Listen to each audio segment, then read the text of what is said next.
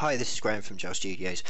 One of the things which we often have in, in our projects is galleries of images um, and we need to make them in such a way that it's easy for the end client to pop in and uh, add new images, remove images or change the titles. What I've just mocked up here is a very basic five image gallery um, whereby clicking on each individual one shows you a picture uh, and a custom title underneath. Uh, now if we have a quick look at the HTML of this, we can see that uh, this is actually all done at the moment in the content, which might be fine for some, uh, but maybe not for end clients, which might not be proficient or comfortable um, in editing raw HTML code.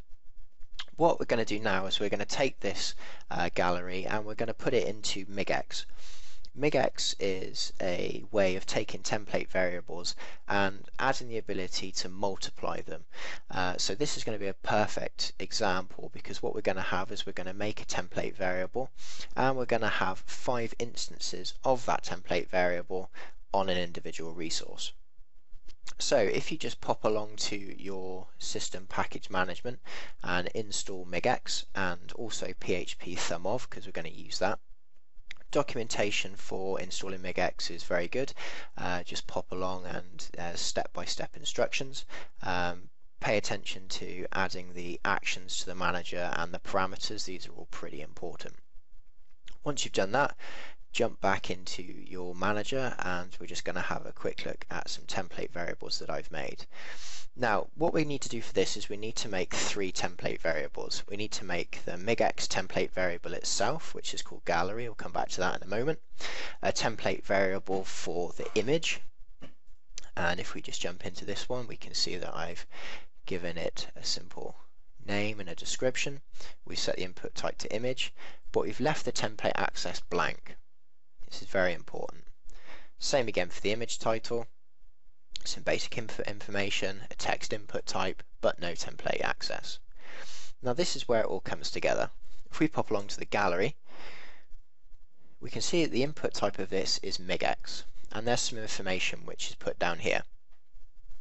Now, if you're a bit worried about using JSON or you haven't used JSON before, don't worry. Uh, the example which is given on uh, the MIGX site itself if we just jump down here, is a very good starting place. And if you're worried that you've written anything and you're not sure if it's valid or not, there's plenty of JSON parsers online where you can just paste your JSON in and they'll tell you immediately if what you've put is valid or not. But a very, very quick run through of what these fields mean.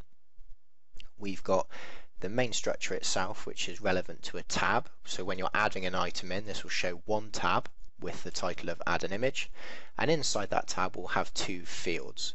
We'll have a field which we're going to be calling title. We're going to be giving it a readable string of titles. This is what you'll see. And then we're referencing the template variable that we made a moment ago called image title. And the same again underneath for the image itself. These are very, very important because these values that we have here are what we're going to use later on to access the stored values. What we see in grid here is this is what is rendered when you're actually inside the manager but you're not adding anything. I'll show you these later on but effectively just some basic widths that you can set um, whether it's sortable so you can drag things around and then obviously the important data index title these match up so this shows you previews of what you added. So if we just quickly jump along to our resource and I'll show you what I mean.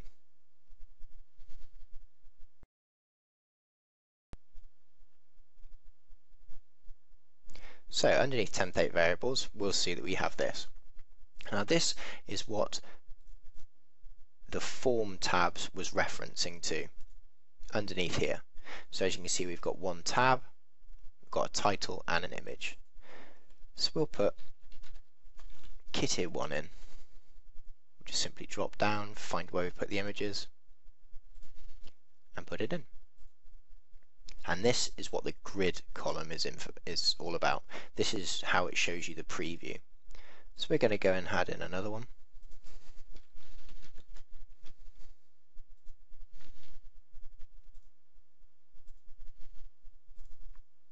So as you can see, this is a very easy and a fixed way of adding in information, especially for an end client.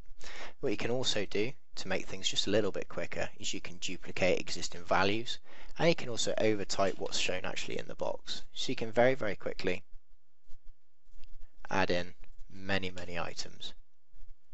There's also the ability with uh, MIGX to do AJAX uploading, uh, which is a bit more complicated. We can maybe run through that in another tutorial if people are interested. But effectively, you can have a media resource, you can mass upload that media re uh, resource and then import them all in. So very, very quick way of doing it.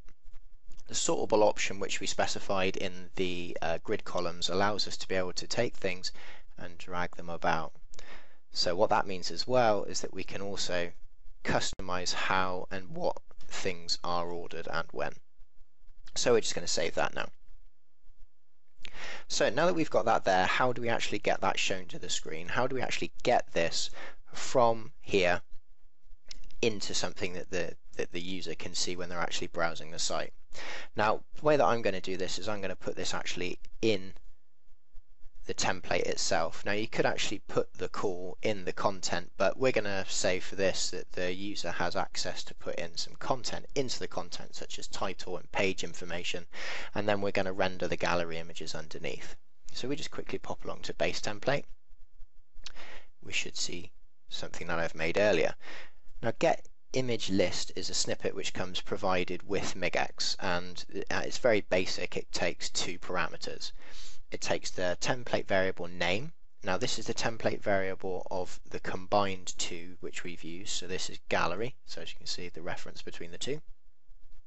And then a template chunk that you're going to use to output. So this is called blog gallery. So if we just quickly jump underneath here, we'll go to blog gallery.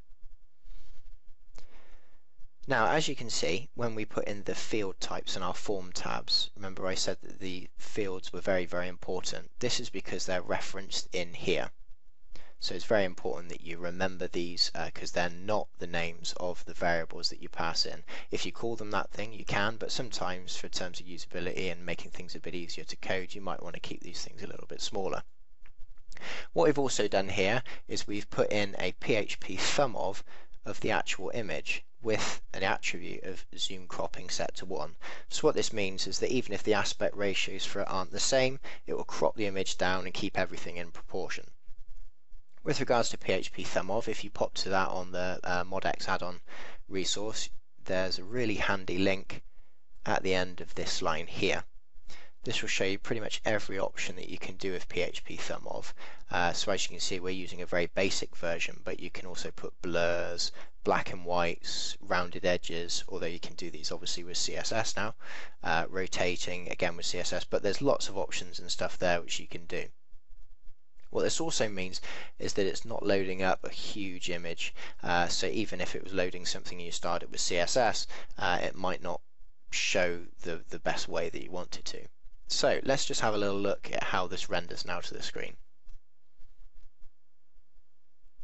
There we go.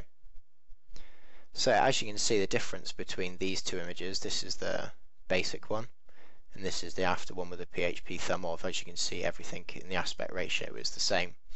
Uh, and also this one here, it's recognized that it's uh, longer than it is wide, so it's cropped it down.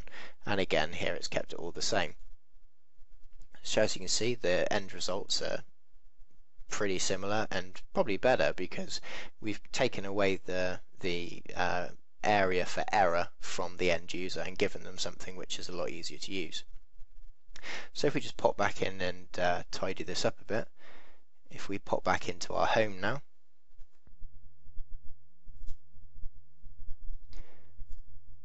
let's just add in our last kitty.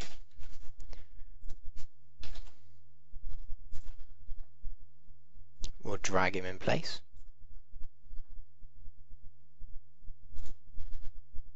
And what we can do now is we can get rid of this. And then we can maybe put on the rich text editor. Let's just reload it.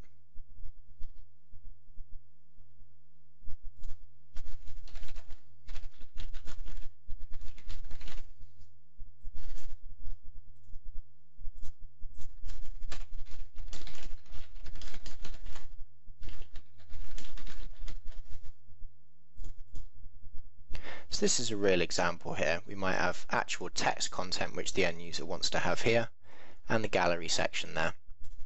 And if we just refresh this, we've got a really nice laid out simple gallery with the ability to pop through. It's also again extremely easy if anybody wants to update it.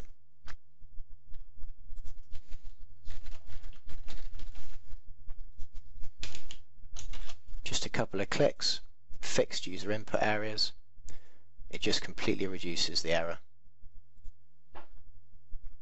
And there we go. So if you have any questions or you'd like to suggest maybe something else for me to run through and let everybody know, uh, please do so in the comments below. Um, and yeah, follow me on Twitter and Facebook and I'll try my best to help everybody out. Cheers.